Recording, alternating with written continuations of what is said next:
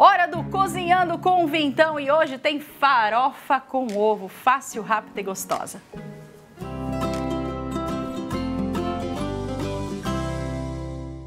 Oba, que delícia! Cozinhando com o Vintão na sua telinha, já anota aí porque hoje nós vamos fazer uma farofa de ovo. Ai, Mira, não gosto de ovo. Calma, calma que essa aqui você vai gostar porque é um ovo bem fritinho, vai ficar uma farofa crocante e muito gostosa. Anota aí os ingredientes. 5 ovos, 4,40, 100 gramas de bacon, 6,50, um tomate, 70 centavos, uma cebola, um real, farinha de rosca, 4 reais, queijo ralado, 4,90, cebolinha, sal e pimenta a gosto.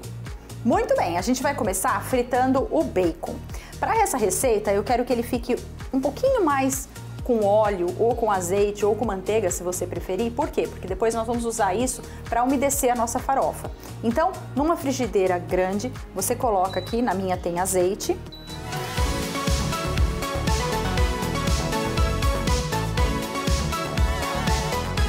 o bacon já tá fritinho. Quando ele tava quase bem frito, eu já joguei a cebola.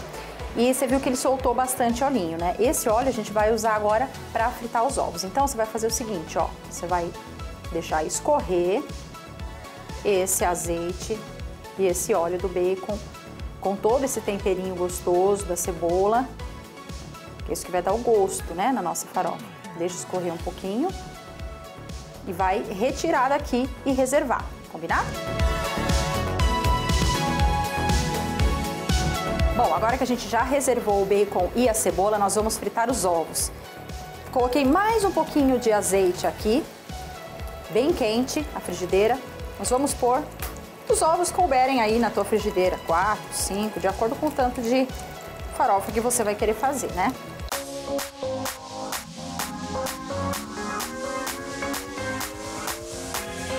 Enquanto os ovos fritam, que eu gosto do ovo bem fritinho, a gente vai fazer o seguinte: pega um tomate e vamos tirar a semente dele. Assim, ó. Por quê? Porque essa semente ela vai deixar a farofa muito molhada. Então, a gente vai colocar os, o tomate na farofinha, mas sem essa parte do meio, ok?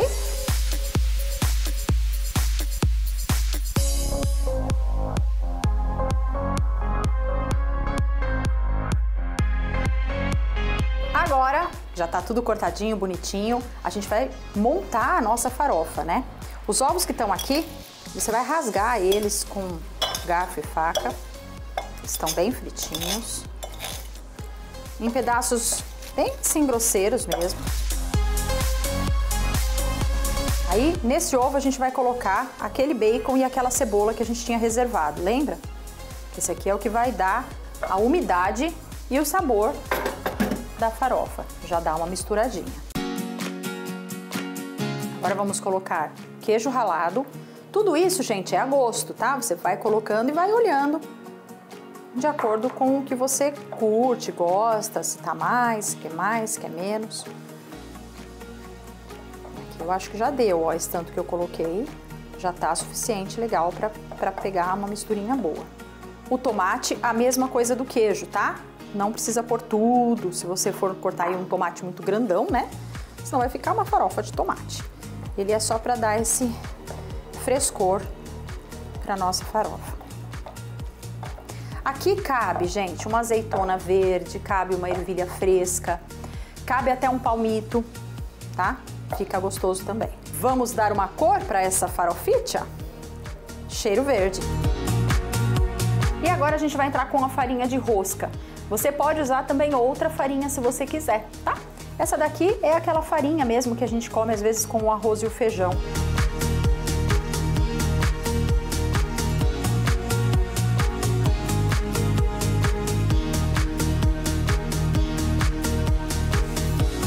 A farofinha está pronta, farofona, né, gente?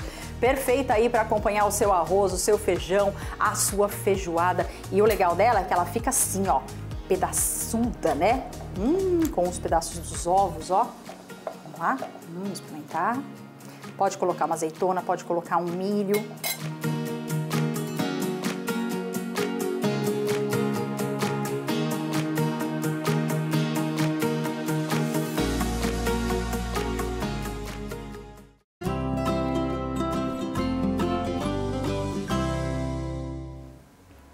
Muito bem, depois eu vou colocar no meu Instagram também, combinado? Para você assistir novamente.